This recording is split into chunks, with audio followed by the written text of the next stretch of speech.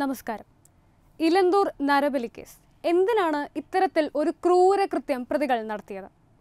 കേസിന്റെ അന്വേഷണം പല വഴിക്ക് നടക്കുകയാണ്. കേസിൽ ഇപ്പോൾ ഒരു വലിയ വഴിത്തിരിവുണ്ടായി. കണ്ടെടുത്ത മൃതദേഹത്തിൽ വൃക്കയും കരളുമില്ല. അവയവങ്ങൾ വിൽക്കാൻ ശ്രമിച്ചുവെന്നാണ് സംശയിക്കുന്നത്. ഇതിലൂടെ പുറത്തു വരുന്നത് അവയവ മാഫിയയുടെ കൈകടത്തലാണ്. ശരിക്കും നരബലി എന്ന് പേരിട്ട് നമ്മൾ എല്ലാവരും ഇതിനെ വിളിക്കുമ്പോഴും സ്ത്രീകളെ അല്ലെങ്കിൽ മനുഷ്യരെ ഇത്തരത്തിൽ മൃഗീയമായി കൊല്ലുന്നത് അവയവങ്ങൾക്ക് വേണ്ടിയാകാം. അതിനാൽ തന്നെ ഇലന്തൂർ ഇരട്ട നരബലി കേസ് പുറത്തു വന്നതോടെ നിരവധി അഭ്യൂഹങ്ങളും പരന്നിരുന്നു. കേസിൽ ഇന്നും പ്രതികളുടെ തെളിവെടുപ്പ് നടന്നു. മുഖ്യപ്രതി മുഹമ്മദ് ഷാഫിയെ കൊച്ചിയിലെ വിവിധ സ്ഥലത്തെത്തിച്ച് തെളിവെടുപ്പ് നടത്താനാണ് പോലീസ് ഇനി ആലോചിക്കുന്നത്. ഭഗവത് സിംഗിനെ പത്തനംതിട്ടയിലെത്തിച്ച് ഇന്ന് തെളിവെടുപ്പ് നടത്തി.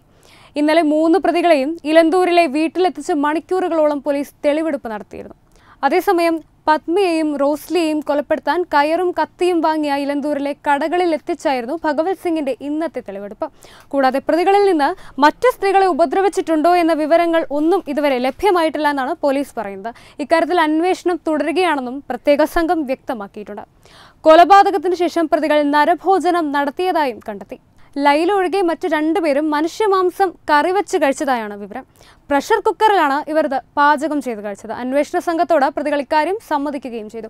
ഇരട്ട നരബലി നടന്ന വീട്ടിലെ ഫ്രിഡ്ജിനുള്ളിൽ മനുഷ്യമാംസം സൂക്ഷിച്ചതിന്റെ തെളിവുകളും പോലീസ് കണ്ടെത്തിയിട്ടുണ്ട്. ഫ്രിഡ്ജിനുള്ളിൽ രക്തക്കറിയുമുണ്ട്. പത്ത് കിലോഗ്രാമുള്ള മനുഷ്യമാംസം പ്രതികൾ ഫ്രീസറിൽ സൂക്ഷിച്ചു. രണ്ട് സ്ത്രീകളുടെ ആന്തരിക അവയവങ്ങളും ചില ശരീരഭാഗങ്ങളും ഇത്തരത്തിൽ ഫ്രിഡ്ജിൽ സൂക്ഷിച്ചിരുന്നു. ഫ്രിഡ്ജിലെ ഫ്രീസറിൽ സൂക്ഷിച്ച മാംസമാണ് പിന്നീട് ഇവർ മറ്റൊരു കുഴിയുണ്ടാക്കി അതിലേക്ക് മാറ്റിയതെന്നും റിപ്പോർട്ടുണ്ട്. ഇലന്തൂരിൽ ഇരട്ട നരബലി നടന്ന മുറിയിൽ നടത്തിയ പരിശോധനയിൽ രക്തക്കറയും മുഖ്യപ്രതി ഷാഫിയുടെ വിരലടയാളവും പോലീസ് കണ്ടെത്തിയിട്ടുണ്ട്.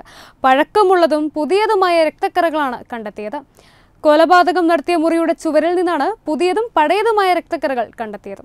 തിരുമൽ കേന്ദ്രത്തിൽ വെച്ചാണ് മൃതദേഹങ്ങൾ വെട്ടി നുറുക്കിയതെന്ന് പ്രതികൾ സമ്മതിച്ചു. കൊലയ്ക്ക് ശേഷം മുഹമ്മദ് ഷാഫി പുറത്തുപോയെന്നു ഫ്രിഡ്ജിലെ ഫ്രീസറിൽ സൂക്ഷിച്ച മാംസമാണ് പിന്നീട് മറ്റൊരു കുഴിയുണ്ടാക്കി അതിലേക്ക് മാറ്റിയത്.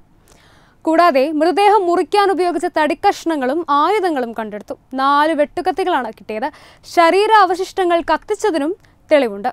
തിരുമൽ കേന്ദ്രത്തിൽ നിന്ന് വായ് മൂടിക്കെട്ടാനുള്ള പ്ലാസ്റ്ററും പോലീസ് കണ്ടെടുത്തു. നരബലി കേസിൽ ഓരോ ദിവസവും കഴിയുന്തോറും ചുരുളഴിയുന്ന രഹസ്യങ്ങളുടെ എണ്ണവും കൂടുകയാണ്. ശരിക്കും എന്താണ് അല്ലെങ്കിൽ എന്തിനു വേണ്ടിയാണ് ഇവർ ഈ കൃത്യം നടത്തിയത് എന്ന് ഇനിയും നമ്മൾ പരിശോധിക്കേണ്ടതുണ്ട്. ഇനി വരും ദിവസങ്ങളിൽ എന്തൊക്കെയാണ് നടക്കാൻ പോകുന്നതെന്ന് നമുക്ക് കണ്ടു തന്നെ കാണാം. Web desk Tatwamayi news.